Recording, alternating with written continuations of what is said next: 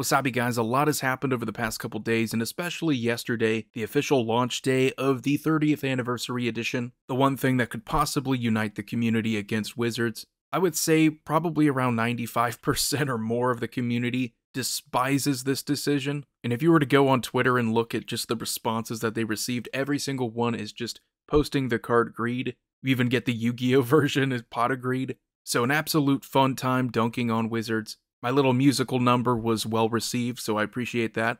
So now it's time to ask how did we get here? What I'm about to play is a clip from a video I made about three years ago, and it was in anticipation for the then upcoming Throne of Eldraine set. There I discussed the new product announcement for the collector boosters that's pretty much persisted to this very day. Wizards does this with their expansions now. You'll get a draft booster, you'll get a normal set booster, you'll get a collector booster. So here we go, take a listen. And the idea here is that he's trying to serve different players, which usually never really works out well especially with the whole collector's pack thing where he says it could be 20 to 25 dollars a pack for one of these things and you're supposed to be getting these exclusive cards borderless featured planeswalkers. It sounds nice until you realize it's the same exact thing they did in the comic book industry and it didn't really work out well then. Slapping the collector's label onto something doesn't magically just increase its intrinsic value. All you do is make it easier for people to get these cards anyway. All they have to do is just pay 20 to 25 dollars. So they could still get the same cards, maybe not the borderless ones,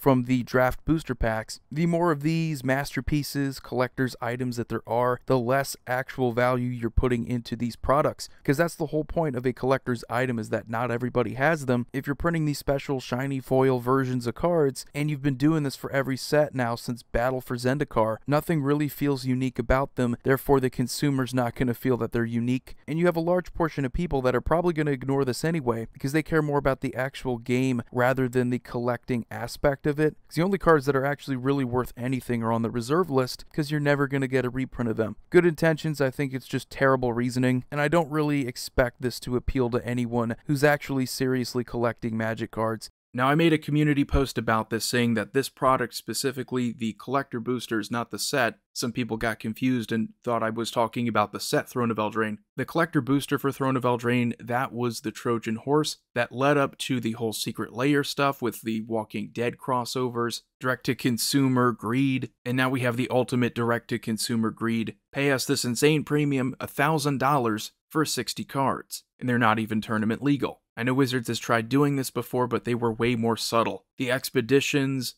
I think that's probably the best way to do it. Don't shove it in people's faces. Stop trying to set the pace for the secondary market because you can't control us. We're the ones who determine the value of a card. It's just like anything else, it's worth what we say it's worth. And since it's not a necessity to play this game or collect these cards, you better believe we have even more of a say. What you need to understand about the collector boosters and everything else here, it's one massive veneer. And that's all it is, that's all you're paying for. And just think about it when have you ever seen a product that was self labeled collector's item ever hold any long term collectible value? I mentioned in my video the comic book industry for a reason, because in the 90s there was this obsession for the collectible market for comics. You had a lot of World War II comics that were worth bank, and people were more interested in the hobby as a whole. That started a new generation of comic book collectors. The problem with that you have scarcity and then you have desirability. Just because something's scarce doesn't always mean it's valuable. You could make a turd statue. It's the only turd statue of its kind. It doesn't mean it's going to be worth a lot of money. And then you have the desirability factor. Is this actually what people want? No, because there's plenty of it. So the comic book industry is way more volatile because there's more of an emphasis on the collectability side of things. Magic, we have playability value.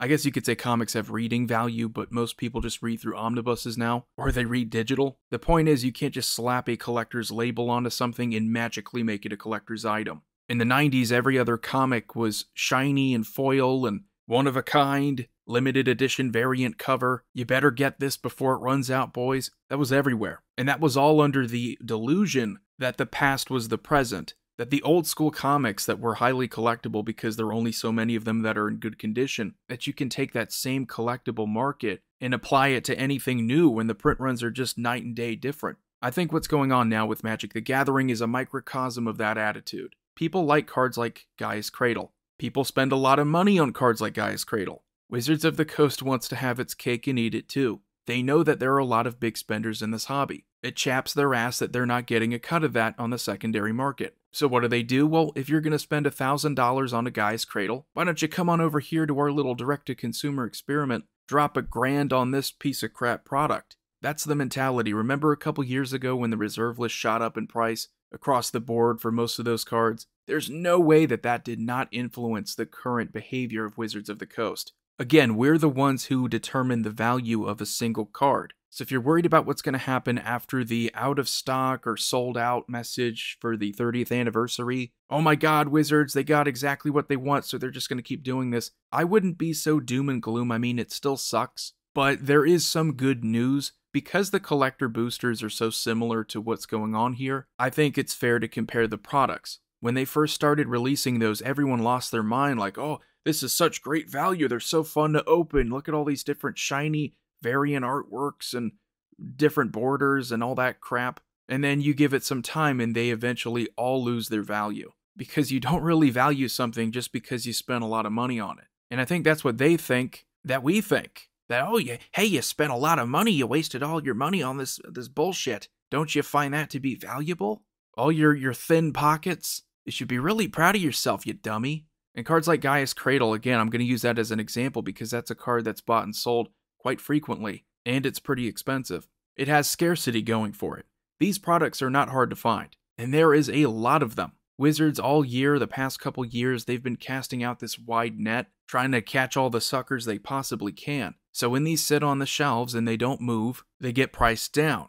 And you can look on TCG Player for pretty much every single one of these collector booster boxes. I think all of these have lost a significant amount of value. So what comes next is obviously everybody who got their 30th anniversary is going to try to resell them on eBay, and they're going to try to sell it for more than a grand. This is where it gets interesting because the community is so against this. And I don't know exactly the print run here. I don't know how many of these were sold. I can't imagine any of those folks who decided to turn around and try to scalp are going to have an easy time doing it. It's easier to do that with things like PlayStations where there's a lot of excitement around them. It's a new console, mommy and daddy. I got to get it. A new console. These only come out like once every seven or eight years. And I don't want to be left out of my friends playing games and all that. With this, no one really needs it. There's no playable value here that you couldn't also achieve by simply proxying them like literally every single one of these, which leads us to another topic C and Ding Card Conjurer, and just the attack on the freedom to create budget alternatives if you don't feel like wasting your life savings. That was yet another scummy decision on a long, long, long list of terrible mistakes for 2022. Don't you know you're cutting into their profits, Card Conjurer, with your free to use website? Let me know what you guys think in the comment section. Also, I've been enjoying watching a lot of content creators this week. I don't really do it that often for Magic, but I watched coverage from Jake and Joel. I watched Magic Historian, Alpha Investments, of course, Commander's Quarters. I watch Tolarian every now and then because I think he ultimately comes around to the general consensus, even though he does associate with a lot of people who would probably not appreciate it. I think it was a very good moment overall. I think most of the community we kind of understood what we needed to do, and it's to just continue applying pressure. Commander Void here signing off. I will see you all next time.